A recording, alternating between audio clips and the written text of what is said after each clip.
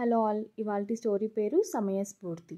రామాపురం అనే ఊళ్ళో గోవిందుడు అనే పిల్లాడు ఉండేవాడు. ఓ రోజు గోవిందుడిని వాళ్ళ నాన్న పిలిచి పక్క ఊరిలో ఉండే తన స్నేహితుడి ఇంటికి వెళ్ళమని అతడు చిన్న పెట్టె ఇస్తాడని దాన్ని జాగ్రత్తగా తీసుకురావాలని చెప్పాడు.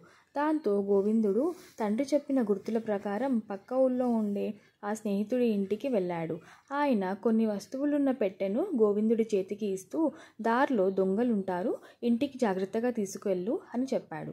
ఇంటికి వచ్చే క్రమంలో గోవిందుడికి తన వెనకాల ఎవరో వస్తున్నట్లుగా అడుగుల చప్పుడు వినిపించింది. ఎవరో దొంగ తనని వెంబడిస్తున్నాడని తెలుసుకున్నాడు. దాంతో భయపడుతూనే కాస్త వేగంగా నడవడం మొదలుపెట్టాడు. ఆ అడుగుల చప్పుడు వేగం కూడా పెరిగేసరికి గోవిందుడికి ఏం చేయాలో పాలుపోలేదు కొంత దూరం వెళ్ళేసరికి గోవిందుడికి ఓ నది కనిపించింది. దాన్ని చూడగానే అతడికో ఆలోచన వచ్చింది. వెంటనే నదికి కాస్త పక్కగా ఉన్న పొదల్లోకి తన దగ్గరున్న పెట్టెను విసిరేసి నది ఒడ్డున నిలబడి నా పెట్టె నీళ్ళలో పడిపోయింది అంటూ గట్టిగా ఏడవడం మొదలుపెట్టాడు.